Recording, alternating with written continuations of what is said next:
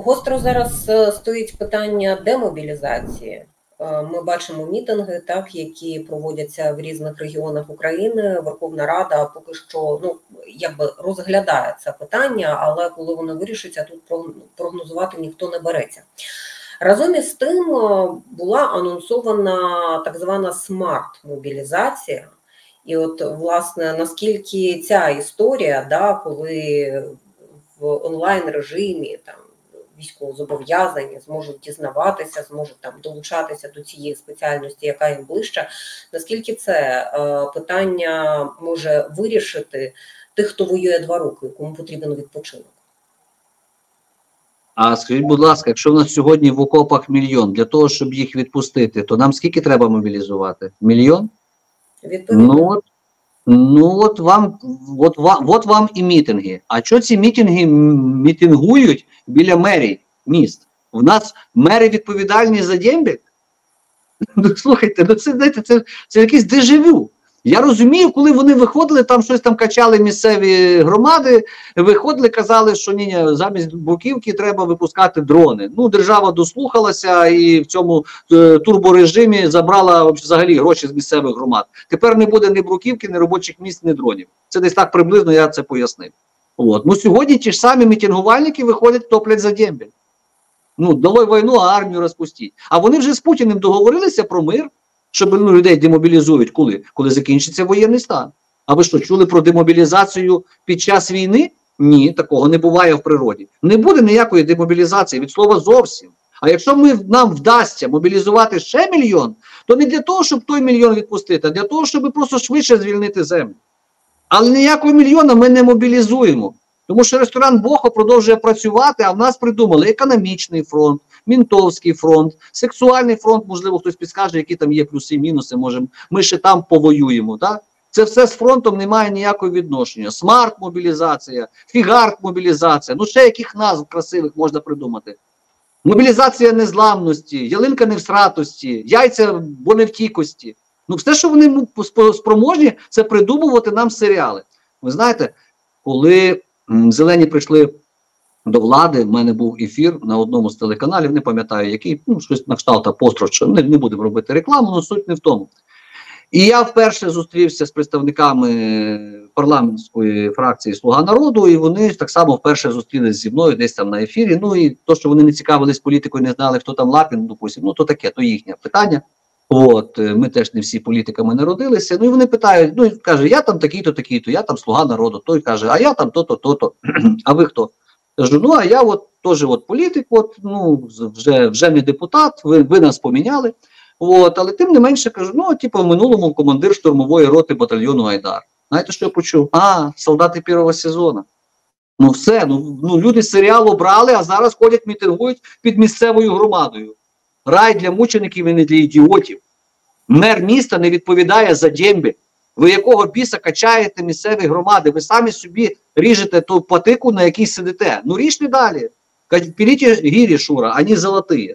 Ну, ну це ідіотізм, але справа в тому, що цими ідіотами керують. Тому що назвати їх е, з повна розуму, я можу при всій повазі, їхні чоловіки воюють, діти, дітки е, чекають тата. При всій повазі до людей, які виходять щиро це говорити. Але чому вони виходять біля міських громад? Хто їм сказав, що це міська громада? Їх порахували за ідіотів, і що їх можна направити під міську громаду. Ну вчора проти Бруківки, сьогодні за Дємбіль. Ну от і все. А ну нічого не буде цього. Від слова взагалі. Верховна Рада розглядає можливості. Ну ну, ну люди, ну будьте свідомими. Ну рай для мучеників не для, не для ідіотів. Ну я ж хочу в рай. Ну може вони не хочуть. Ну нехай далі ходять і слухають, як Верховна Рада розглядає можливості. Зробити ще армію чиновників, яка ніколи не піде на війну. Ще раз наголошую: зробити армію чиновників, яка ніколи не піде на війну, а на наступних виборах виживе, скористається нашою жертовністю. І знову обере вибір мене називається. Десь так це виглядає. Треба плодити не армію чиновників, треба вводити стан війни. Треба заточити керівництво державою повністю підставку Верховного головнокомандувача на чолі з президентським, я ж не проти. І ставка Верховного головнокомандувача має керувати державою, не Єрмак. Розумієте, який дає доручення парламентсько-президентській республіці, Єрмак дав доручення прем'єр-міністру. Офігеть, ото доцарювалися. Зробили офісно президентську республіку і дивляться, скільки ж нас ще загине. Спочатку через єдиний марафон розказували, та що там ті чмобіки, там з ким там вони воюють. Вони просто обезцінили повністю подвиг моїх побратимів. У нас потерь же ж нет. Ну як? В російська пропаганда виходить, потерь нет. Ну, якщо є, то чуть-чуть. А в нас що? Говорять про наші втрати, про ту жертовність? Та вони обезцінюють подвиг кожного солдата, який загинув. Вони що ховають? Вони хочуть, щоб жирний тил не хвилювався, що скоро орки прийдуть в Київ. Прийдуть, тому що в воєнкоматах черг нема.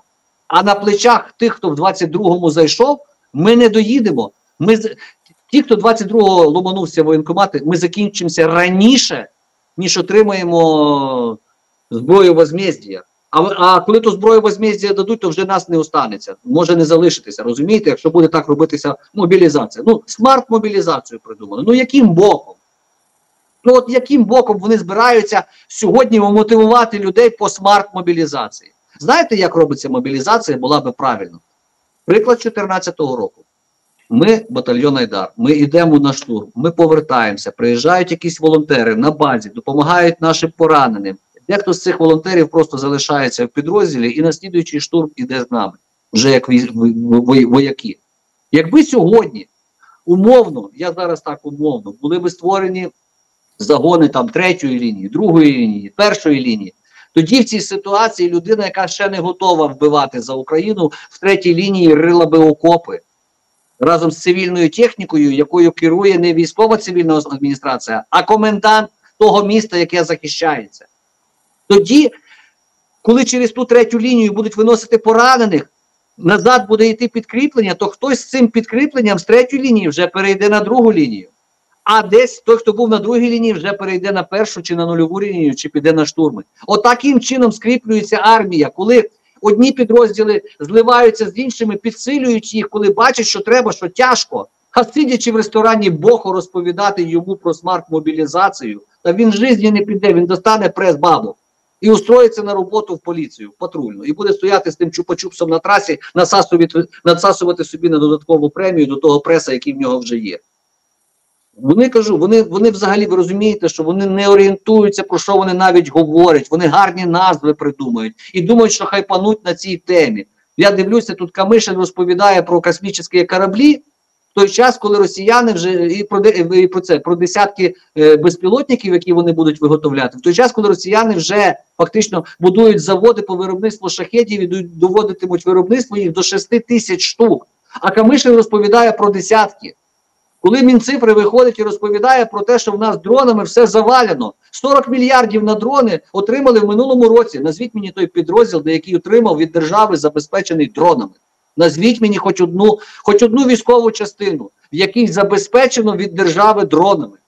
На, на, на їхнє місце 1 грудня ми похоронимо остатки нашої волонтерки. Бо лише великі фонди, які притулені десь там до офісу президента, зможуть собі тримати армію юристів, які будуть оте все оформляти, що придумав сьогодні Кабмін. Розумієте? Бо жінка не зможе заволонтерити і завести своєму чоловікові щось, бо в неї буде проблема з документообігом. Кум для брата, для свата теж нічого не зробить. Вони похоронять оцей, як я кажу, той човниковий той волонтерський рух, той, який зшиває жирний тили сьогодні і цю тонку піксельну полоску. З 1 грудня ми офігіємо. А вони розповідають нам про космічні кораблі, смарт-мобілізацію, там цифрову фігню якусь і так далі. Ну це трешняк, ну це вже ну реально це задовбало. Десь так. Ну, власне, в продовження вашої теми в Об'єднаних Арабських Еміратах е, було авіашоу і виставка озброєння. Там, попри те, що да, санкції ж мають якось стиснути на російські ВПК, Росія що? Росія демонструє крилату ракету, зокрема Х-69 для винищувачів Су-57. Її там вперше показують, показують там е, гелікоптер так само. Ну і більше того, от видання Bloomberg сьогодні виходить зі статтею про те, що санкції заходу щодо експорту російської нафти вони не можуть позбавити Кремль доходів для фінансування війни в Україні. Зокрема, про що пише Bloomberg. Валові доходи РФ від трьох основних податкових джерел нафтодоларів майже подвоїлися періоду з квітня по жовтень, склавши минулого місяця понад 13 мільярдів доларів, як показують розрахунки Bloomberg. Що з цим робити? Та нічого ми з цим не зробимо. Ви розумієте, от е, зараз фахівці там якісь там в різній пресі, в західних медіа розповідають, що Україна не так воює, не такий контрнаступ, ще якась фігня, там Блумберг щось опублікував, різного штибу фігню. А я читаю новини, дивлюся, що грецький танкер під прапором якоїсь іншої там країни, грецький танкер, так, прийшов з російською нафтою розгрузатися в іспанський порт. Ну все. На що мені треба зробити? Мені треба вивалювати все, що випливає з новоросійських баз. І мені все одно, якого, якого фрапору той танкер. Якщо я не буду нищити російську інфраструктуру, то ми будемо воювати вічно. Ми закінчимося, а нам будуть розповідати про те, що ми не так воюємо, і заробляти. Російська Федерація за рахунок тих енергоносіїв за з моменту повномасштабного вторгнення заробила 550 мільярдів євро. Ну, все. Якщо Російська Федерація заробила 550 мільярдів євро, і це її дохід, то уявіть собі, що відбувається в світі. Ну, ну от вам цінність світу, ціні, ці, європейські цінності, західні цінності, демократичні цінності. Та це все к чортовій матері вже давним-давно перевели в слово ціна, а не цінності. Це за цінності сьогодні воює український солдат. А вони воюють за ціну. Кому війна, а кому мать родна. І якщо мені розповідають сьогодні про, про станції, так я радий, звичайно, що вони хоч якось допомагають. Але скільки зараз е, російської нафти зайшло в Індію, зайшло в Китай, і що хтось з цими санкціями щось робить? Та ні, звичайно. Значить, що нам треба робити? Ті гроші, які вливалися в економіку України на протязі цих років, мали вкидуватися в економіку України, а не в бруківки, дороги, стадіони, у всяку фігню. І тут питання не тільки до місцевих громад. А чому вони не вкинулися в економіку і військово-промисловий комплекс України? А тому що в нас немає стану війни. Тому в нас можна собі дозволити ходити на розслаблених і думати, що тобі будуть оплесками роздавати, тобі будуть все життя, і гроші нікуди не дінуться, будуть платити. Так говорили зелені в 22-му році. Ми тримаємо їхній фронт, тому вони нам будуть платити. На чорта з два вони будуть платити. Вони будуть так само думати, тому що в них є уряди, і на кон конкретно на критиці допомоги України сьогодні вибори. Словаччина вам приклад. Це Фіцо зайшов до влади, але чому він рекламував свою кампанію? Хватить допомагати Україні. Ми ще офігіємо від виборів в Америці. Ми будемо офігівати в 25-му році, взагалі, якщо не помиляюся, більше як в 40 країнах вибори.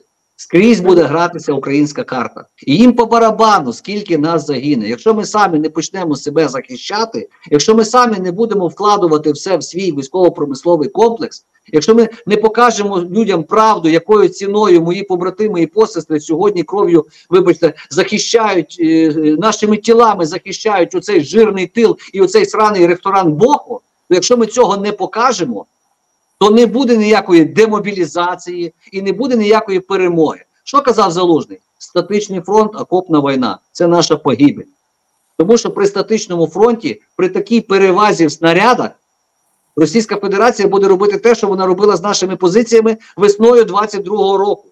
А я то знаю, що вони робили при такій перевазі. Сьогодні Корея росіянам дала мільйон снарядів. І що? Хтось підірвав той єдиний міст, який з'єднує російську залізничну колію з корейською. Хтось його там підірвав? Ні. А ми тут мріємо про космічні кораблі. От і все. Росія отримала мільйон снарядів, ще й своїх випустила мільйон. А нам весь Європейський Союз сказав: ми вам обіцяли мільйон, але пардонте, ми не зможемо, тому може бути як-небудь в слідуючому году. Десь так виглядає сьогодні війна. На кожних 26, якщо не помиляюся, танків, які отримала Україна. Російська армія поповнила свої ряди на 100 танків. Отакою От ціною ми сьогодні. Ви це в єдиному марафоні десь чули? Якщо трісне оця піксельна полоска, ми знову будемо дивитися, як з Києва свалюють майбахи і мерседеси і лімузини. Така історія. Треба підривати всю логістику нафтової структури в світі, яка тільки є від Росії. Починаємо нашими е, морськими дронами, марічками, малюками валити ті танкера, які йдуть з російською нафтою. Ми не чіпаємо танкера, ми чіпаємо російську нафту. А не хочете, щоб горіли ваші танкера, то не возіть російську нафту. Не обходьте санкції. В нас іде війна. Ну, як, ну інакше, яким чином ми маємо вивалити ту Росію? Ми чекаємо, що кордон 91-го року. І що буде далі? Росія сяде за стіл переговорів, перестане пускати по нам шахети і ракети? Ну, звичайно, ні. Вони не сядуть за стіл переговорів. Тому будь-які мова про переговори, я завжди казав, цей танець тану- танцюють двоє. Якщо ви домовили, що ви говорите про Україну, що от Україна має там сісти. Ну Зеленський з тими з Єрмаками носиться з планом миру як дурень з писаною торбою. Що в цьому плані миру є для нашої перемоги? Треба ходити з планом перемоги, а не з планом миру. А вони ходять план миру, план миру, план миру, план миру. Ну як заїла пластинка. А де план перемоги? Ви що, в 91-й рік кордони вийдете і що? Росія в космос улетить? Ні, вона не летить в космос. Вас в НАТО візьмуть? Та ні. Ви в Євросоюз заскочите. А ви що, вже всі реформи поробили? Та ні, так ви не туди, ні туди не заскочите. І парасольки НАТО у вас не буде. І що далі? А росіяни в космос не улетять. Значить, миру не буде, бо буде існувати загроза. А для того, щоб не було загрози від Росії, треба що зробити? Перше, мати можливість зайти в НАТО. Для цього треба антикорупційна реформа. Ну і далі по тексту не будемо зараз там розповідати. От. А другий пункт це розвал Росії. А як Росія може розвалитися? Ну, щоб в неї були бунти. А щоб в неї були бунти, що треба зробити? Треба вибити, вибити економічну складову. Не перенісши війну на територію ворога, ми економічну складову ворогу не виб'ємо нічим. Не, не спаливши пару танкерів, вони далі будуть возити. Ці танкери будуть страхувати якісь компанії, і ці танкери будуть заходити в європейський іспанський порт чи італійський, який там не пам'ятаю, Італія чи Іспанія, і далі будуть торгувати російською нафтою.